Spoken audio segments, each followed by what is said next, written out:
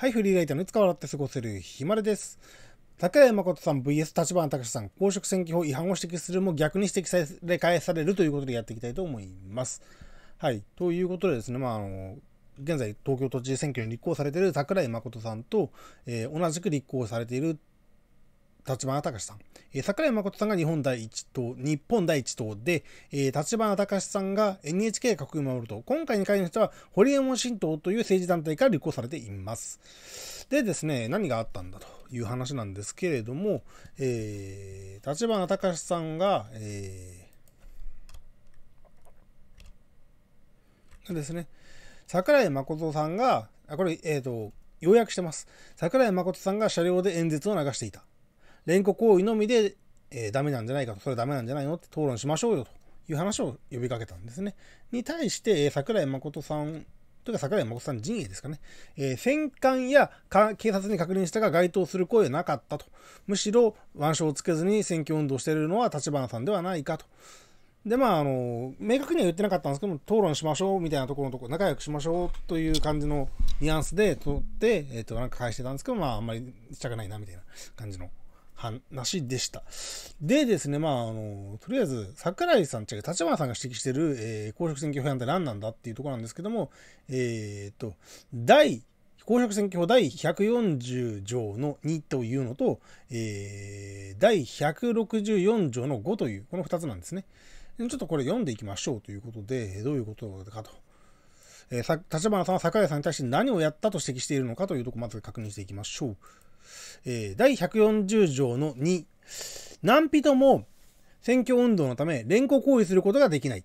ただし、選あただし、演説会場及び街頭演説、括弧演説を含むの場所においてする場合、並びに午前8時から午後8時までの間に限り、次の規定により選挙運動のために使用される自動車または船舶の上においてする場合は、この限りではないと。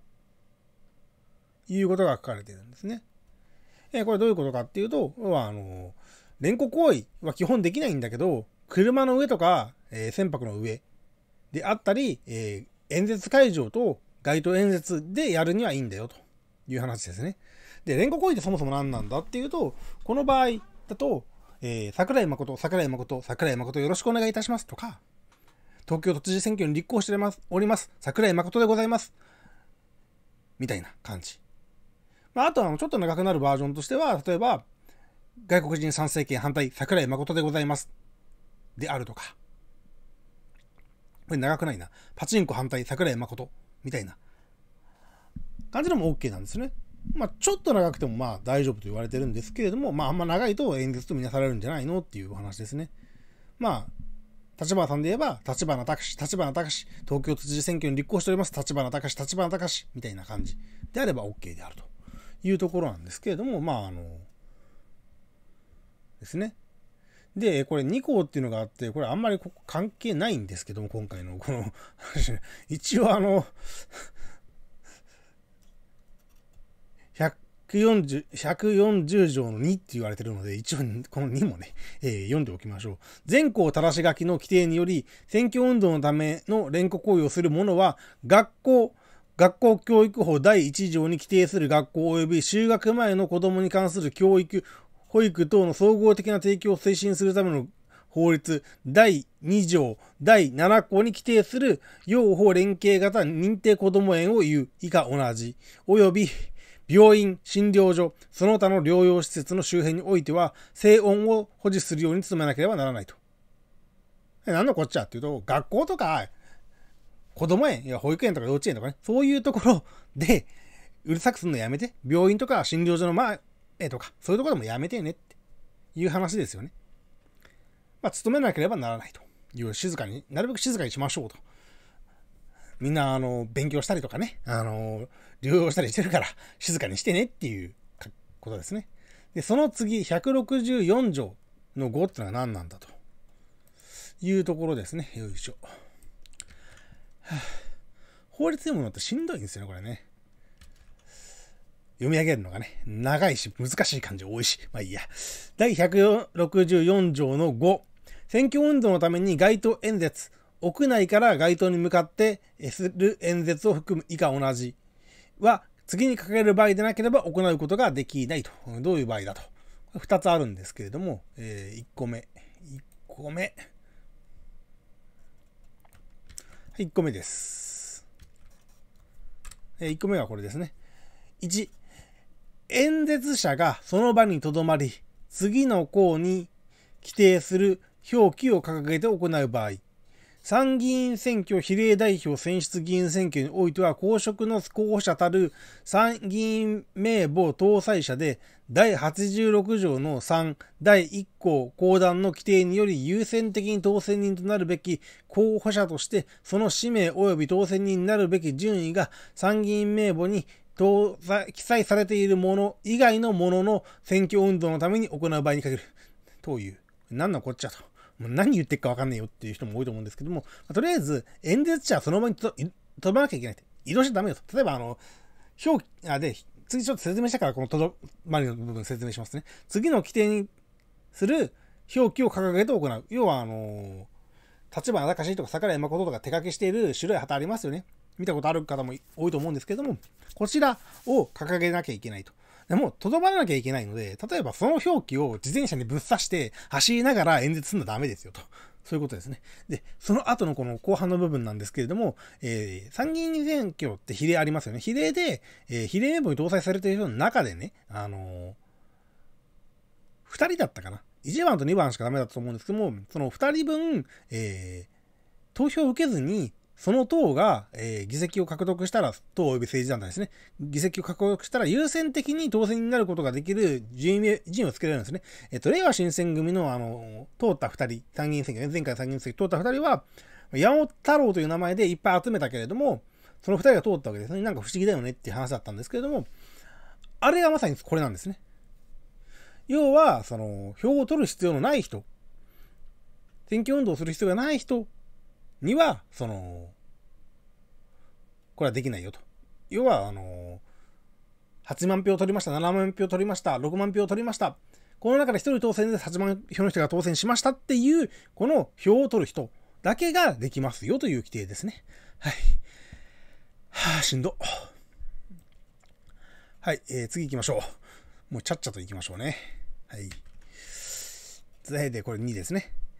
これもね、あんまり関係がないところではあるんですけれども、うん。だけども、えー、候補者届出政党または衆議院名簿届出政党等が第141条第2項または第3項の規定により選挙運動のために使用する自動車または船舶で停止しているものの車上またはえー、戦場及びその範囲で行う場合ですね。まあこれこのままです。あるいは届け出てる政党がやる場合ですね。はい。もう、しんど。はい。もうこの辺はちょっと飛ばします。えー、で、いうことですね。まあこういうことだと。で、まあどういうことかっていうと、要は、こっちに。要は、えー、桜井さんは、えー、あ、違う、立花さんは指摘したんだけど、この項にに該当しない演説行為を車で走りながらやってたんじゃないのって指摘してるわけですね。対して桜井さんはそんなことはしてないと。戦艦にも警察にも確認したけど該当するようなことはしてないよと。むしろやってんの立花さんでしょ腕章つけずに選挙運動してるよねって言われてるわけですよね。で、えー、で、それに対して立花さんがさらに、えー、アンサー動画みたいなのを上げてたんですね。はい。戦艦に確認、やっぱりダメでは？別に守れとか捕まえろとか言ってるわけじゃなくてね、普段指摘してる桜井さんがやってたから言ったと。要は共産党とかにあれ違反だろうって言ってると。で、単連ポスターの肖像権に対して間違ったことを言っていたと。籠池さんも呼び捨てにされたと。だから対談しようと。まあ、まあ、立花さんからすると、対談しようって言いたかったんでしょうね。それがちょっと大ごとになっちゃったねっていう ところなのかもしれないです。もうちょっとその辺はわかんないです。ただまあ、要約するとこんな感じのことを言われていたわけですよね。うん。なんか3連ポスターの肖像権、ちょっと桜井さんの方の動画見てないので、そのガイドする動画をね、なんかコラボしてる動画があるみたいなことは言ってたんですけども、ちょっとそれがわからなくて、それ見てないんですけども、まあ、あの、立花さんの主張では、3連ポスターの肖像権、肖像権、えー、籠池さんとか堀江さんとかの肖像権ないんだと。ポスター何やってもいいんだって。そんなことはないと。まあ、肖像権、ちょっと調べてないですけど、た多分あると思うんですよね。立花さんあるって言ってましたしね。多分あると思うんですけども、まあ、あの、うん。多分とか確かあったよね。なんか、この間読み合わせ、読んだ時に書いてあった気がするんだけれども、確か書いてあった気がするんですけど、まあいいや、これ調べてるとちょっとまた時間かかっちゃうんで、えー、またあの興味がある方調べてください。えー、確かあったような気がします、僕もね。はい。というところで、まあ、あの、こうなったという感じ。まあ、桜井さんじゃちょっとやりたくないなっていう感じではあるんでしょうね。うん。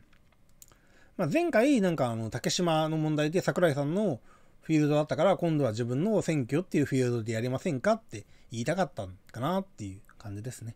はい。まあ、あの、立花さんとね、桜井さんが対談すると盛り上がるので、まあ、ぜひやってほしいなと僕なんか思うわけですけれどもね。はい。まあ、ちょっと実現しなさそうかなって。まあ、ね、午後8時以降だったらやれることも限られてるんで、その時間にどっちかの事務所にならないでね、えー、やっても面白いのかなと思いますけれどもね。はい。はい。ということでですね、まあ、あのこの件だいぶ皆さんが、あの言われている状況なので、まあ今更では感はあるんですけども、まあちょっと、せっかくなので作っておこうかなということで作ってみました。以上です。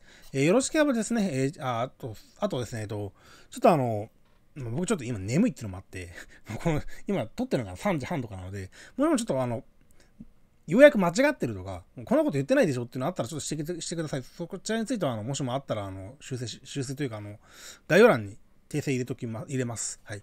多分大丈夫だとは思うんですけれども、若干眠いので、もしかしたら変なこと言ってないかなっていう心配ちょっとあるので、もしもなんか変なこと言ったら言ってください。はい。で、えっ、ー、と、あの、お二方のね、えー、動画に関しては、ちょっとあの、概要欄の方に貼らせていただきますので、えー、よろしければそちらの方もね、見に行っていただければとは思います。以上です。よろしければね、チャンネル登録していってください。フリーライターのいつからって過ごせる暇でした。